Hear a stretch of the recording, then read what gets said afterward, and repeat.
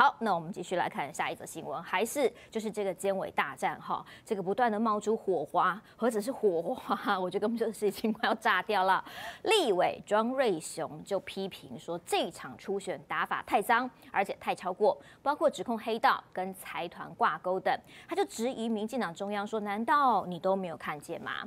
还点名何志伟说打到毫无人性，然后他就说了，其实何志伟跟王世坚这两个人能力谁比较出色？用膝盖想也知道。结果何志伟回应的时候呢，他一度哽咽。哎，民进党的人真的蛮容易哽咽的哈。他说：“民意代表遇到委屈是常有的事，只能等待天亮继续向前。”哈，哎，这这个学中天的 slogan 哈。然后王世坚则是表示呢，藏进人心里有数，不要躲在键盘后面就可以这样子糟蹋人。批评王世坚跟财团挂钩的人。其实本身就是最一个最大的财团啊，那怎么会去讲王世坚去什么跟财团去做一个挂钩，然后呃跟黄成国打个电话，那个通联这样把他给把他给秀出来，这在干什么？非常难看呐！这个党中央难道都没有看到吗？过去大家并肩作战的是黑道，然后什么跟财团挂钩，笑死人的！是怎么为了一场的一个初选，毫无节制的去做这样人格的一个？扑杀毁灭，王成国过去也是陈胜宏、薛林、何志伟的好朋友啦。连旁边的什么赵应光，然后他儿子什么，就是你何志伟的家族去邀请人家来入党的嘛？那你把那一区邀请来入党的，把他打成黑道，但是把王世坚的人格这样做一个摧毁，选举哪有打成这么脏？这一种恶意的抹黑攻击不具名的，就是下三滥的打法嘛。做这些梗图就是下三滥嘛，民意代表常常就会遇到一些委屈嘛吼，那很多这些攻击的字眼啊，伤害的字眼，什么何志伟是恶魔啊，然后赖清德是我的小弟啊，然后什么下什么烂的啊，我我们当民意代表，我们当公众人物，其实要吸收的这些负能量啊，哦要。被攻击常常会发生，很多时候我真的只能够深呼吸，然后等待天亮，然后继续很乐观的向前行。人都没有，那你何志伟拿人家的事情来向我王世坚挑战，来说嘴我王世坚，强加罪名给我，每一次我都只是回嘴，不能说他污蔑我，他对我泼脏水，然后我回首一下。就说我也泼他脏水，我相信这背后的常静人，那他们心里有数。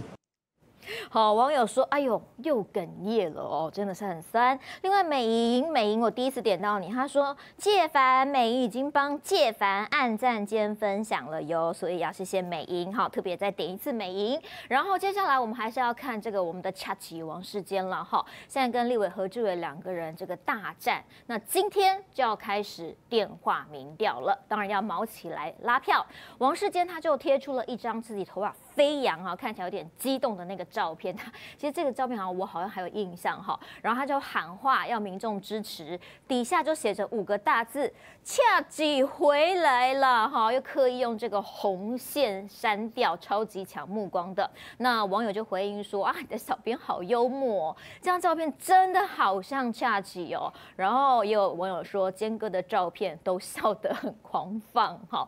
好。看完了这个监委大战之后，我们要关现在，台北市到底谁？如果不管是王世坚出现，还是这个何志伟出现，好，对于国民党来讲，这一区本来就就是一个艰困选区，所以呢，一度传出说要征召前台南市议员谢龙介来选这个选区啊，因为太艰困了，所以需要这样强将哈。那外界当然觉得呃有点错愕。那谢龙介呢，在今天他已经现身表态了，说自己绝对不会。参选的不会到这个区参选了，哈，他没有这个规划，因为毕竟他不能就是这个对于他在台南的相亲的这个承诺，他不能忘记了，哈。但是他说他也祝福王世坚。据有媒体人认为，谢龙介应该要转战不分区立委，其实不止媒体人，包括他们自己党内很多民意代表这样觉得，哈，这样才能够为二零二六年的台南市长蓄积能量。那香介则是表示，哈，无论是哪个位置、哪个安排，他会他都会是以大局还有国民党的团结为前提。现在有传出说你要来选这个士林大同这一区，我不会有这个规划，因为只有在帮王宏威胡选的时候，啊，我有上来。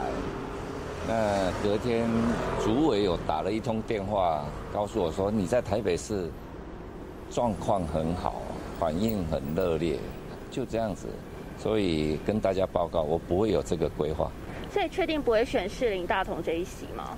不会，因为我要祝福王世坚嘛。王世坚跟这个何志伟两个就是初选闹得蛮沸沸扬扬的啦。现在蓝营这边好像都还没有适合的人选，所以这边你就是觉得不会清争吗？不会啦，因为党部你看嘛，我们每个区都有那么多人在争啊，所以竞争是好事啊，但最后是要团结。那自己的角色会放在可能不分区还是哪一个位置？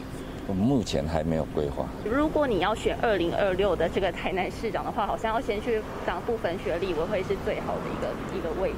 空出公博的修改没贴哦，现在二零二六离现在还有四年。